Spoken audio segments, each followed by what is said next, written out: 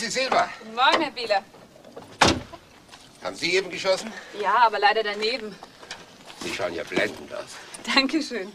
Drei Wochen Karibik, haben Sie meine Karte nicht gekriegt? Nein, nicht bekommen. Also wirklich, ich habe euch allen geschrieben. Aber das mit dieser Post, das dauert immer ewig. Wie geht's denn im Wald? Ich wollte Ihnen morgen den Monatsbericht schicken. Aber da Sie nun hier sind, können Sie ja alles selbst überprüfen. Sie fahren doch nicht gleich wieder nach München. Ich hatte eigentlich vor, ein paar Tage hier zu bleiben, wenn es Ihnen recht ist. Bitte Sie, liebe Silva, es ist immerhin noch Ihr Schloss. Fahren Sie auch gleich nach Hause? Tut mir leid, geht leider nicht. Hab noch zu tun. Stehe schließlich in Lohn und Brot bei einer gewissen Baroness Benried. Oh, Herr Bieler, wenn ich Sie nicht hätte. Ich wusste gar nicht, dass Sie Was denn? einen Jagdschein haben. Aber Herr Bieler, Entschuldigung. ist schon gut.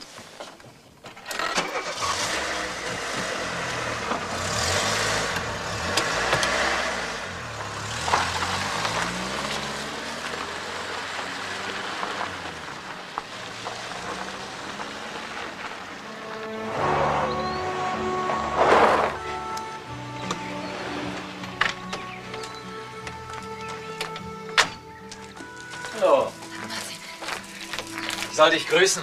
Danke, von wem denn? Und Silva Bernried, die habe ich eben im Dorf getroffen. Sie sieht aus wie der junge Morgen. So. Wie sieht denn junger Morgen aus? Jung, frisch, blühend. Ja, bei dem Leben, was sie führt. Ach, du entschuldige.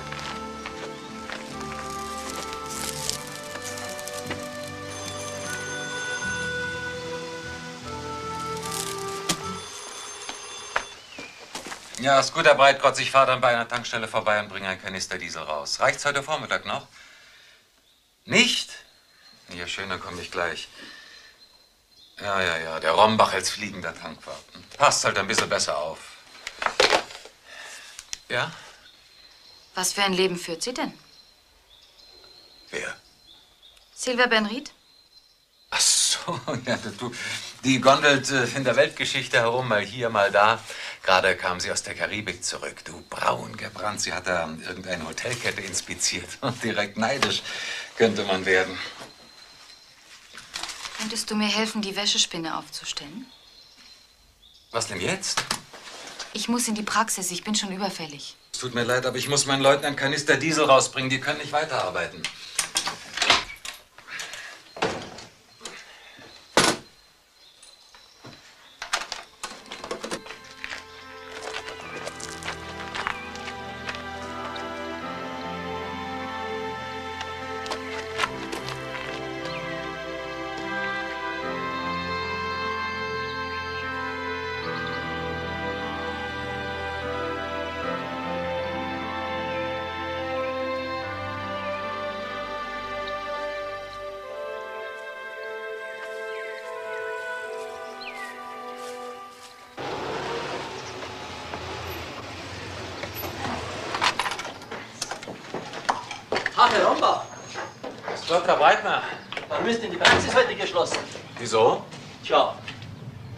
Keine Ahnung.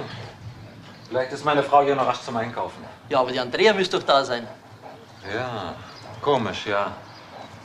Es tut mir wahnsinnig leid, aber morgen ist die Praxis bestimmt wieder geöffnet. Wiederschauen, Herr Rombach. Wiedersehen.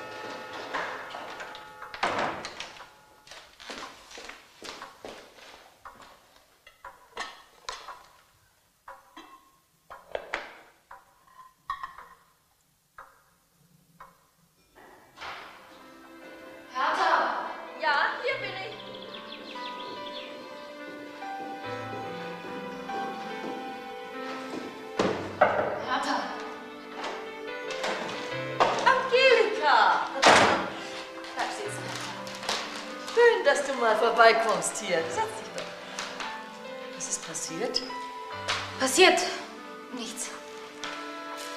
Schön habt ihr es hier. Soll ich dir einen Teller holen? Ich habe allerdings nur Kartoffelsuppe. Nein, danke. Nicht. Bisschen groß die Tafel. Für Kartoffelsuppe findest du nicht? Ja, das ist total idiotisch. Man kommt sich vor wie die Königin Mutter.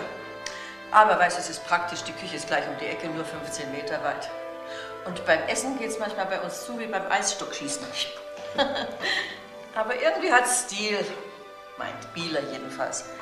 Was sind die schönen Blumen hier? Bitte. Okay. Von einer Wiese.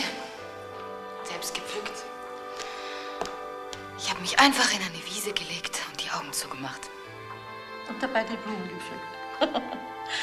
ja, und was ist mit der Praxis? So? Geschlossen. Ja, was ist denn los? Was soll los sein?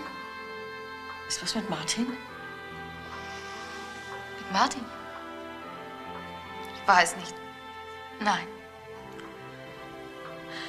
Ja, was dann? Angelika! Um Gottes Willen, Angelika, bitte. Ich, ich weiß nicht mehr weiter. Na, Nun sag doch endlich, was passiert ist. Gar nichts ist passiert.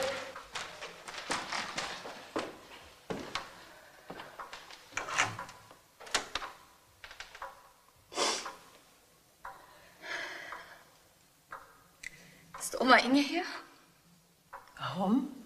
Weil ihr Wagen unten steht. Ach, entschuldige.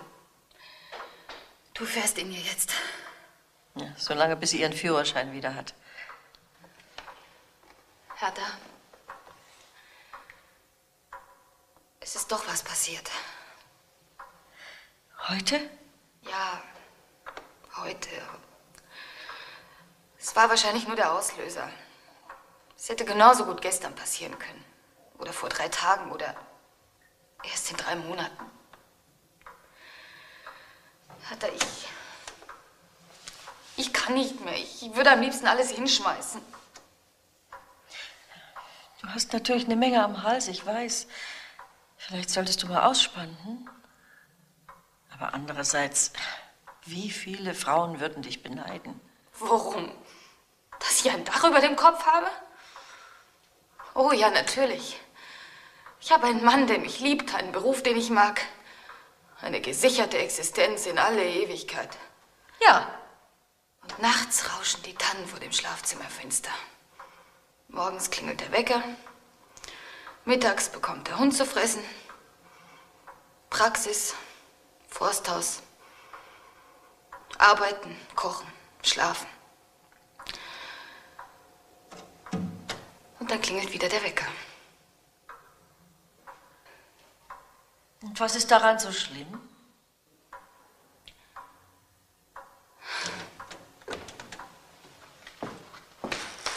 Entschuldige, Hertha. Man hat manchmal so seine Stimmungen.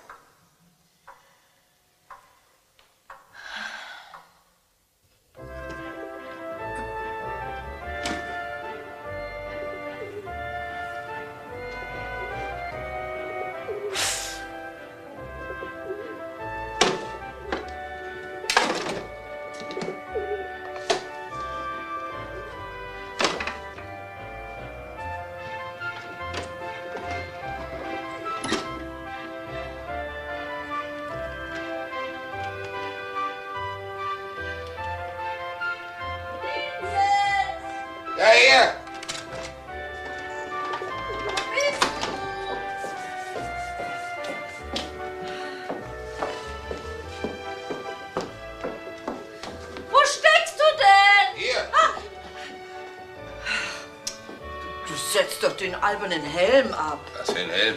Was für ein Helm, na, den du auf dem Kopf hast. Nee, den behalte ich auf. Das tut weh, wenn ich mir immer den Kopf anstoße. Was machst du denn überhaupt hier? Ich räume auf. Ja, da hast du ja ein paar Jährchen zu tun. Also du hast noch gar nicht gegessen, jetzt komm runter. Was gibt's denn? Kartoffelsuppe mit Würstchen, komm.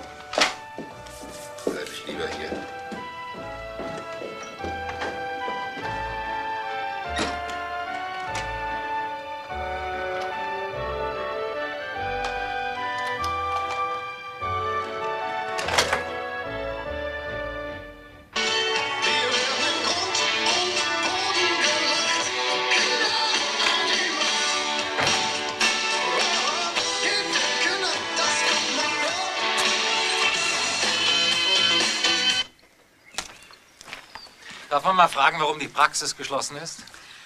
Das weiß ich nicht. Das kann ich dir nicht sagen. Was soll das heißen? Heute machen wir blau, Andrea. Hat Angelika gesagt.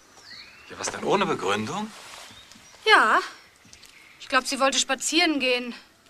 Weil die Wölkchen zählen. Wölkchen zählen. Hat sie gesagt.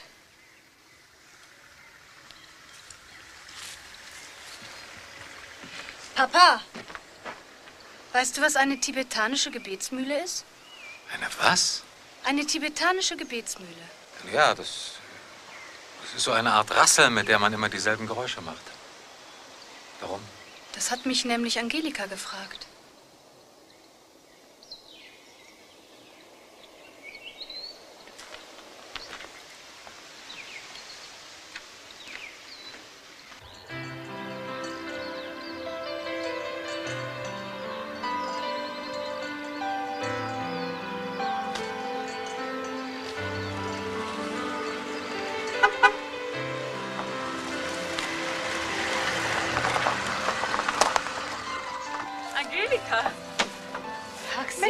Ja lange nicht gesehen. Wie geht's dir denn?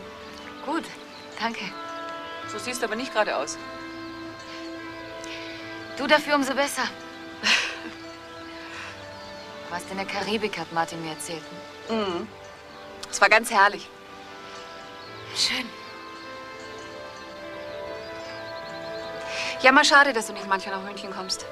Bleibst du länger hier? Ein paar Tage. Ich muss im Schloss nach dem Rechten sehen. Und außerdem will ich mal wieder ein bisschen bayerische Waldluft schnuppern. Schade. Ich wollte eigentlich morgen nach München fahren. Ja? Naja, du, dann melde dich doch bei mir im Hotel. Oder besser noch, du sagst mir, wo ich dich erreichen kann. Ich rufe dich an, ja? Soll ich dich irgendwie mitnehmen? Danke. Also dann, Servus. Mach's gut, Silva. Ach, weißt du, es kann auch durchaus sein, dass ich morgen wieder zurück nach München muss. Ich würde mich freuen, wenn du dich meldest. Mach ich. Ciao. Ciao.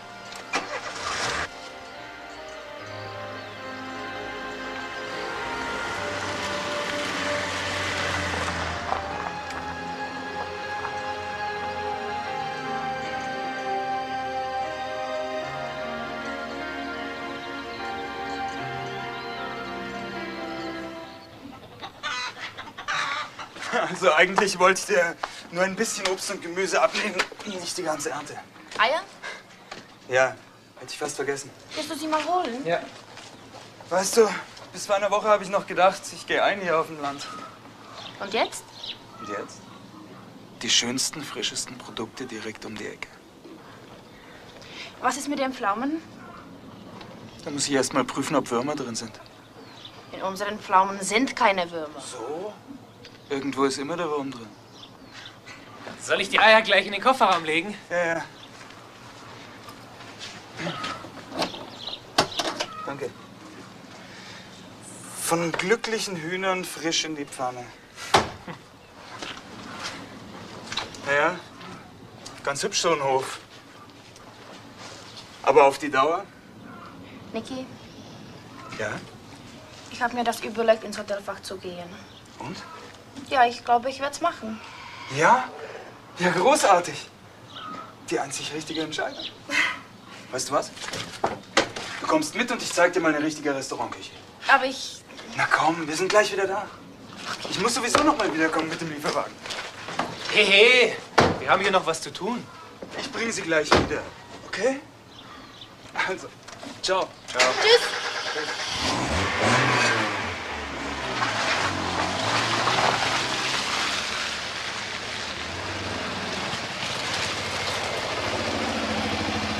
Hallo Markus. Wie der Katja anmacht. geht mir langsam auf den Geist, dieser Typ. Immerhin hat der Katja auf die Idee gebracht, Hotelfach zu lernen. Was? Ja, ist doch nicht sicher. Du, Markus, was ist dein Schnäppchen? Ein Schnäppchen? Ein Schnäppchen ist, wenn du was billig angekauft hast, was normal teurer gewesen wäre. Warum? Soll der Walzinger im Ochsen mit geprahlt haben? Ich habe irgendwie das Gefühl, der Walzinger will uns mit dem Bruchholz aufs Kreuz legen.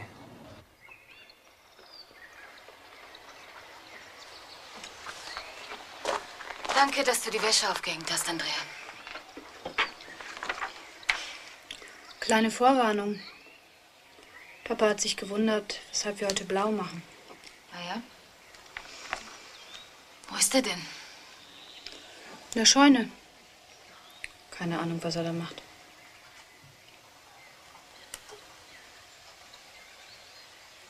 Alles okay? Wieso? Warum fragst du? So.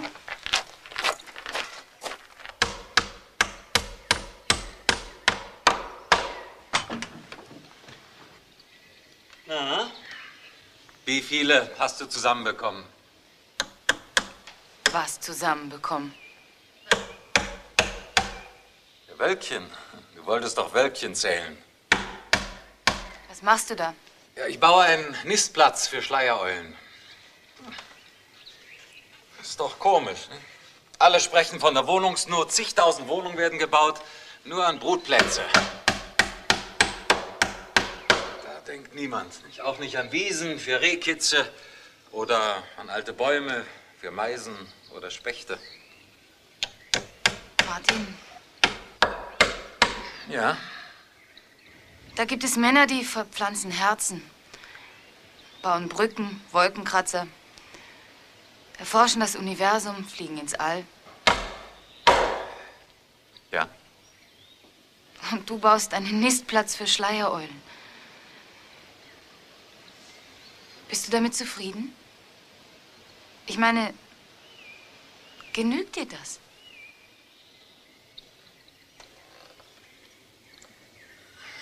Angelika, der bayerische Wald ist nicht das Universum.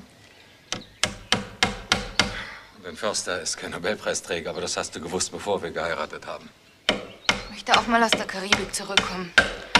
Oder sonst woher. Ach, daher weht der Wind. Wenn ich gewusst hätte, wie du darauf reagierst, dann hätte ich dir nichts von Silber erzählt. Herr Breitner hat vor der Praxis gewartet. Ich habe ihm gesagt, sie sei morgen wieder auf. Angelika, machst du bitte noch die Thermosflasche mit dem Kaffee fertig? Ich muss morgen ganz früh mit Biela ins Revier.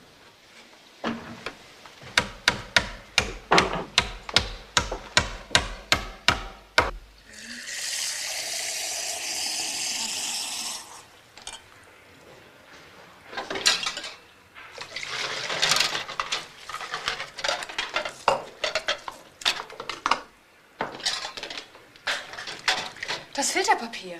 Was? Du Filterpapier vergessen. Ah ja, richtig. Machst du für deinen Vater mal die Thermoskanne fertig?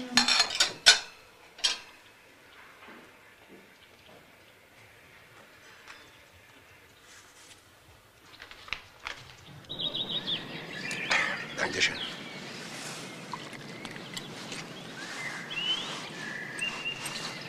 Ach, Zucker. Wie oft habe ich ja schon gesagt, ich mag keinen Zucker im Kaffee. Was hast du denn? Was ist denn los mit dir?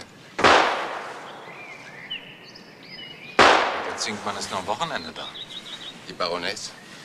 Die hat doch keinen Jagdschein. So. Da bin ich aber anders informiert, Vinzenz. Sie wollte ihn machen, aber sie ist durchgerasselt.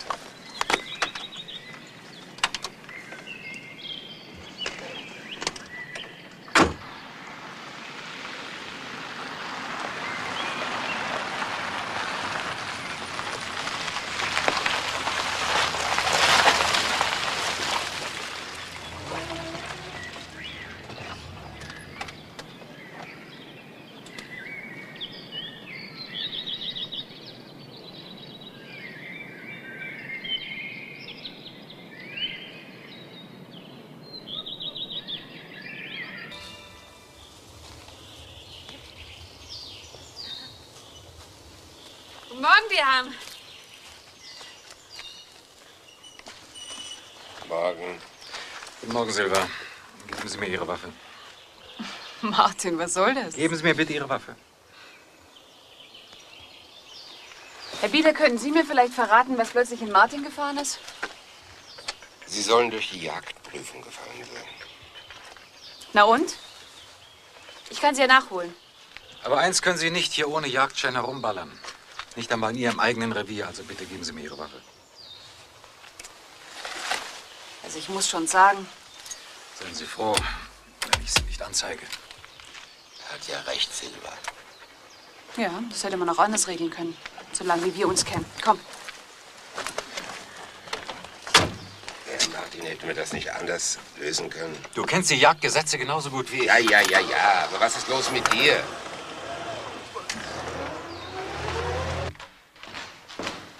So etwas Kleinkariertes. Er nimmt mir einfach die Waffe weg. Aber von einer Anzeige will er absehen. Sehr großzügig von dem Herrn.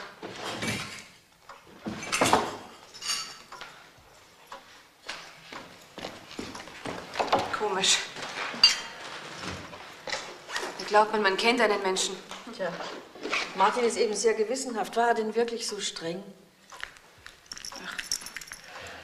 Naja. Schwamm drüber. Also, auf Wiederschauen, Frau Stolze. Ja, wollen Sie nicht doch eine Kleinigkeit mit frühstücken? Nein, mir ist der Appetit wirklich vergangen. Oh. Sind Sie so lieb und sagen Sie dem Bieler, er soll den Bericht nach München schicken. Ja, gut, mache ich. Also. Wiedersehen. Ich wollte Ihnen noch was sagen. Es ist sehr schön für mich zu wissen, dass Sie hier leben. Danke. Ich danke Ihnen auch. Vorsichtig. Ja, ich versuch's.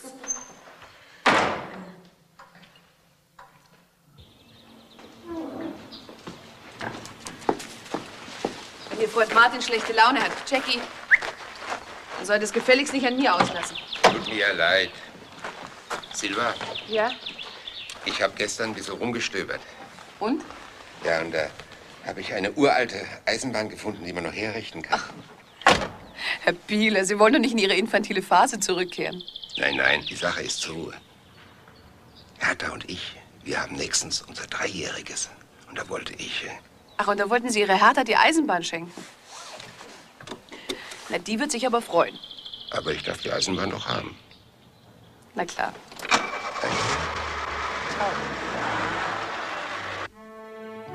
Angelika ist nach München gefahren und? Was soll da dabei sein? Dicke Luftbrüderchen zum Schneiden.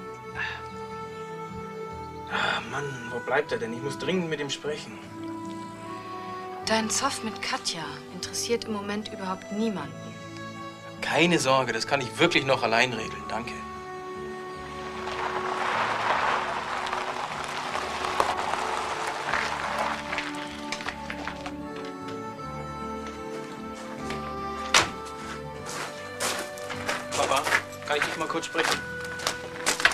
Sein? Entschuldige.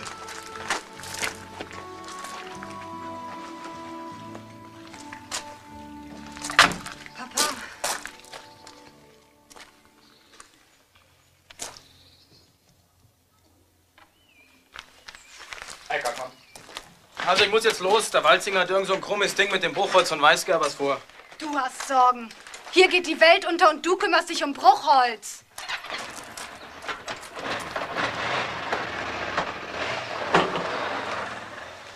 Andrea, ich habe zu tun. Und ich möchte wissen, was mit euch los ist. Warum ist Angelika alleine nach München gefahren? Was weiß ich? Vielleicht sucht sie das Universum. Wenn ihr euch richtig gekracht hättet, wäre mir das lieber gewesen. Eine Frau, die nach einem Jahr Ehe immer noch nicht weiß, dass sie den Kaffee ohne Zucker trinke, die ist sowieso nicht die richtige für mich. Papa, Ja? Ganz abgesehen davon, dass ich den Kaffee gekocht habe. Ja, du müsstest es doch erst recht wissen. Wie wär's, wenn du dir in Zukunft deinen Kaffee selber kochen würdest? Ist doch nicht zu viel verlangt, oder?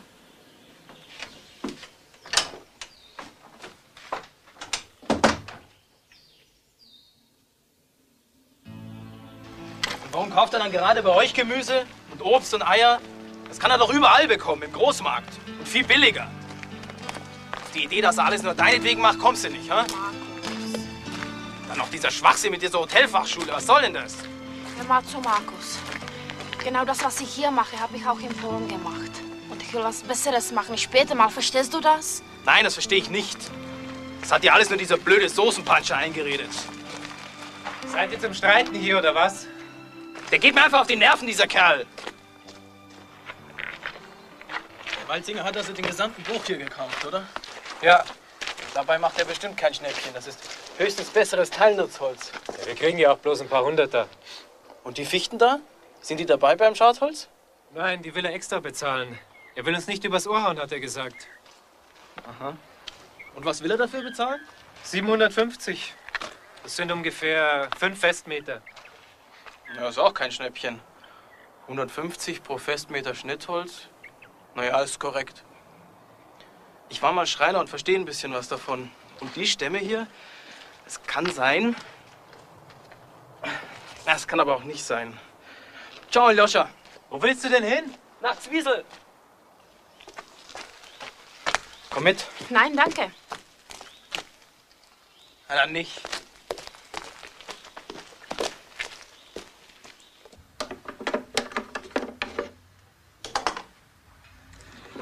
Und wo sollen diese beiden Stämme liegen? In Küblach, gleich neben dem Revier Falkenau. Und wem gehören sie? Einer Familie Weisgerber. Und der Walzinger würde sie nur als Schnittholz abkaufen. So, so. Der Walzinger. Woher willst du eigentlich wissen, dass es Klangholz ist? Da musst du schon einen ganz schön geübten Blick haben. Naja, ich war mal Schreiner. Hätten Sie vielleicht mal Zeit, sich die Stämme anzusehen? Ja, weit ist es ja nicht nach Küblach.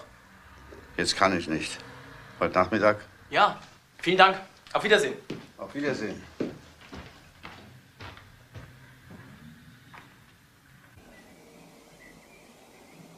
Hast einen guten Blick gehabt. Es ist wirklich bestes Fichtenklangholz. Und woran sieht man das? Die Stämme da sind sehr langsam gewachsen. Sehr enge und gleichmäßige Jahresringe. Nur aus so einem Holz lassen sich gute Geigen machen. Und was würden die so bringen, Herr Tiefenbach? Du meinst, was ich dafür bezahlen würde? Ja, naja, das dürften so in etwa um die fünf Festmeter sein. 4000.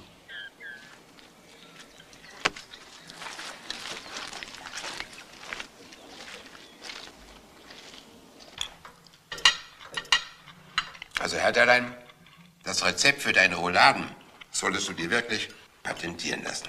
Fein, Vinzenz, dass es dir schmeckt. Du sag mal, ist das wirklich so schlimm, ohne Schein zu jagen? Na, hör mal. Martin und Silva haben sich in der Wolle. Dabei hätten sie beinahe mal geheiratet. Du, kann ich noch ein paar Kartoffeln haben? Ja, natürlich gern. Ach, so ja.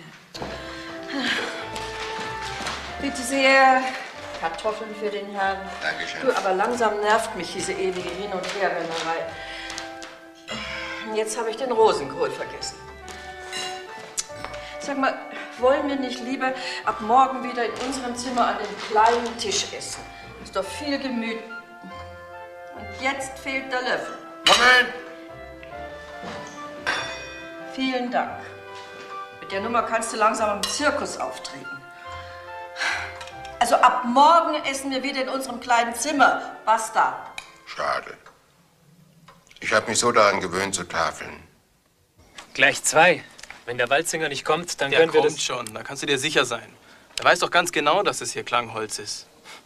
Und statt 4000 will er nur 750 bezahlen. Da kann er natürlich im Ochsen groß damit angeben, dass er ein Schnäppchen gemacht hat. Ein super Schnäppchen. Er kommt. Ah, grüße Gott, Herr Walzinger. Markus, was machst denn du da? Markus hat uns einen anderen Interessenten besorgt. Aber der hat leider abgesagt. Na, da bleibt's ja bei unserem alten Geschäft. Gib sogar noch 300 drauf. Na, Moment, Herr Walzinger. Er hat abgesagt, weil er keine Zeit hat. Ich habe aber alle Vollmachten. Was soll das heißen? Na ja, Wenn Sie nicht mehr als 4000 zahlen, Herr Walzinger, wird aus Ihrem Geschäft nichts. 4000 für 10 Festmeter stinknormales Schnittholz? Müsst ja blöd sein. Also dann äh, treten Sie von dem Geschäft zurück. Ja! Da könnt ihr ja sehen, was ihr mit dem Zeugs macht. Geigen, Herr Walzinger.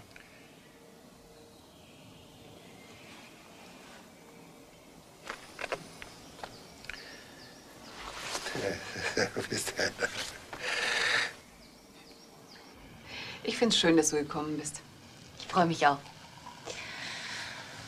Ach du. Genau so habe ich mir das vorgestellt. Ja? Mhm. Sag mal, bist du eigentlich glücklich hier?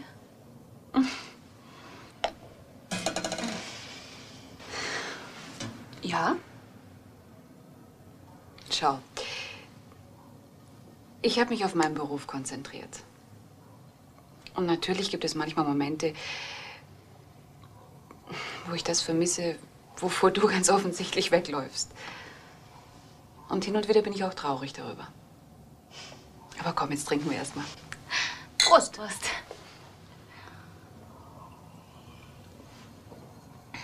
Du kannst übrigens so lange hier bleiben, wie du möchtest.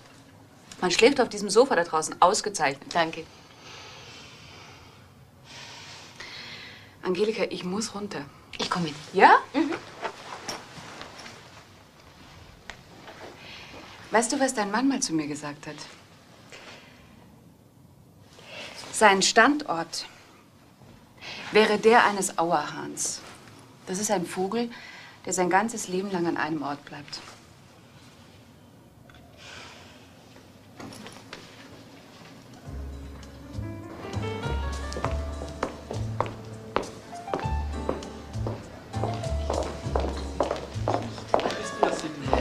Grüße dich. Das ist Herr Dietz, sein Freund des Hauses, meine Freundin Angelika. Guten Abend. Möchtest du nicht doch mitkommen? Hm? Danke, sehr lieb. Ich gehe noch ein bisschen in die Bar. Hm? Aber es kann spät werden. Macht nichts. Also, schönen Abend. Danke. Ja.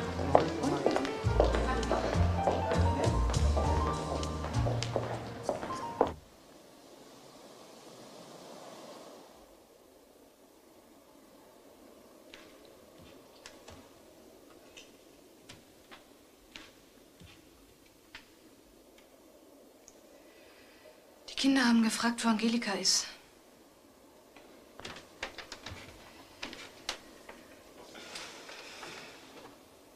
Ich habe gesagt, sie ist weggefahren. Besorgung machen.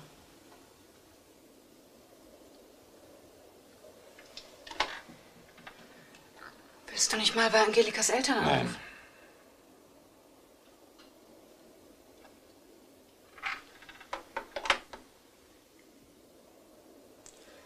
Wir alle was falsch machen? Ich finde, es stellt sich eher die Frage, ob Angelika etwas falsch macht. Ich unterbreche die Sitzung wegen Verhärtung der Fronten. Gute Nacht.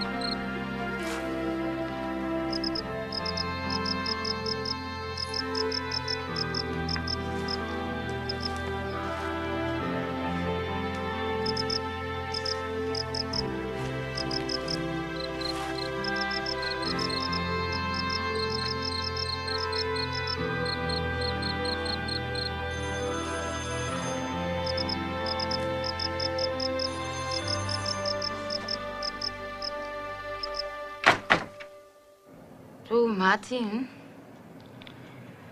ich wollte dir sagen, ein Auerhans ist ein ganz blöder Vogel.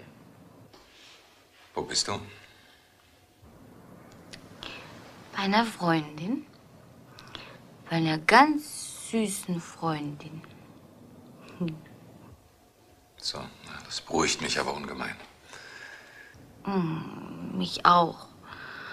Aber ich kann nicht einschlafen. Darf man fragen, warum nicht? Weil ich das Rauschen nicht höre. Was denn für ein Rauschen? Hm. Das Rauschen der Tannen vor unserem Fenster. Gute Nacht.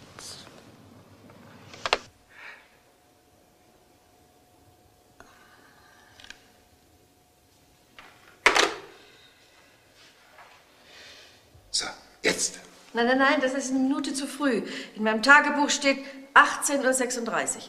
Nur Datum und Uhrzeit, sonst nichts? Doch, Herrn Bieler getroffen, aufdringlicher Kerl. So, jetzt ist es soweit. Jetzt sind es genau drei Jahre. Mein Herr, da-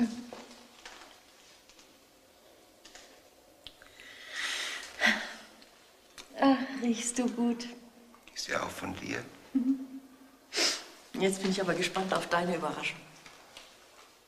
Voilà!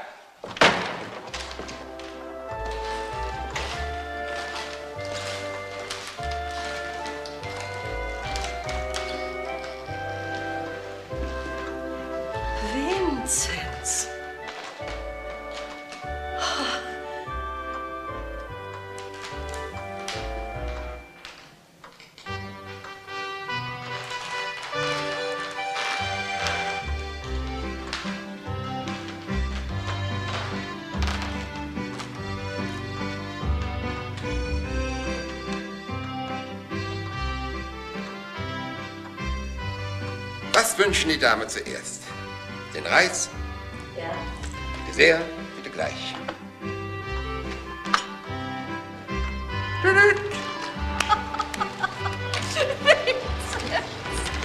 Ideen hast du.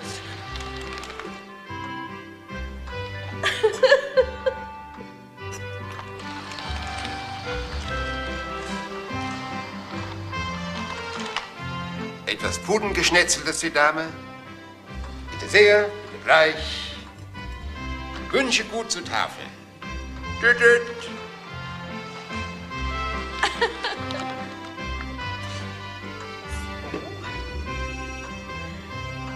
Danke.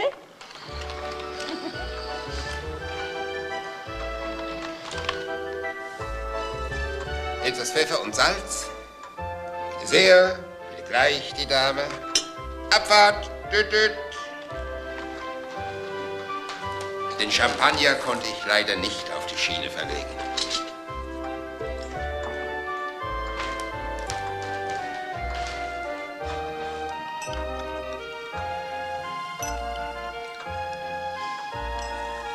Mein Vinzenz, ich danke dir für drei wundervolle Jahre.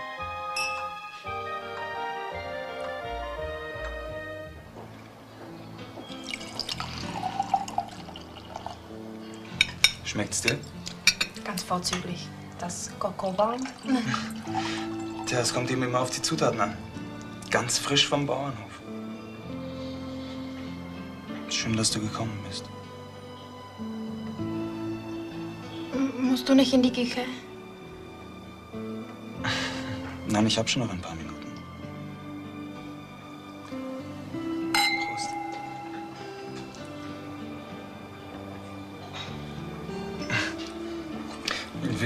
aufgetaucht bist vor zwei Wochen und gefragt hast, ob wir nicht frisches Obst und Gemüse brauchen.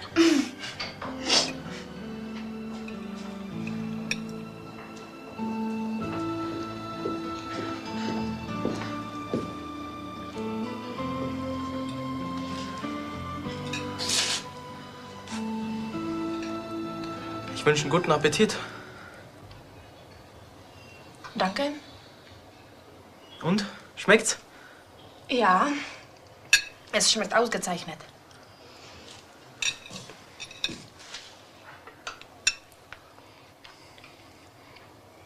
Schmeckt grauenhaft.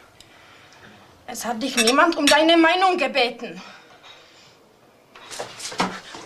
Bist du bescheuert? Lass mich los! Hey, das ist Hausfriedensbruch! Lass mich los. Lass mich sofort los! Du kommst jetzt mit. Ich denk gar nicht dran. Was soll denn das Ganze? Also, was ist jetzt? Ich bleibe hier, weil Niki und ich was zu feiern haben. Ach, so ist das. Guten Abend. Wünsche ich euch noch Guten viel Abend. Spaß. Zwei Plätze? Ja. Vielen Dank, bitte.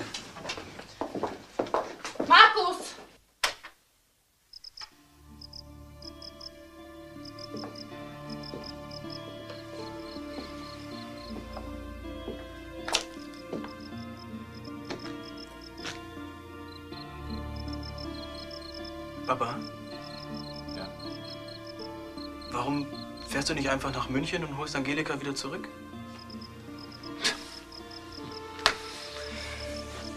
Das wäre wohl das Verkehrteste, was ich tun kann. Warum? Weil Angelika diese Entscheidung ganz alleine treffen muss. Also was daran so schwer sein soll, wieder hierher zurückzukommen, verstehe ich einfach nicht. Ich schon. Markus, wenn Angelika zurückkommt, ich glaube, wir alle sollten uns ein bisschen bemühen, ihr das Leben hier etwas leichter zu machen. Also so schwer hat sie es ja auch wieder nicht, oder? Das bisschen Praxis. Bisschen Praxis. Das bisschen Haushalt, das bisschen Familie. Markus, das bisschen, das ist Schwerstarbeit. So, ich gehe jetzt schlafen. Ja, ja. Lass mich nur allein hier mit meinen Problemen. Ich habe nämlich auch welche. Entschuldige. Das, das mit Katja, das ist wahrscheinlich aus. Ist doch Unsinn. Weißt du, was wir beide machen, wenn Angelika auch nicht mehr zurückkommt? Nein. Dann wandern wir beide einfach nach Kanada aus, bauen uns da eine Blockhütte und die Frauen können uns einfach mal. Ja, das ist eine Riesenidee. Ich gehe dann auf die Jagd und du machst den Haushalt. Wieso ich? Ich, ich denke, Haushalt ist Schwerstarbeit. Eben.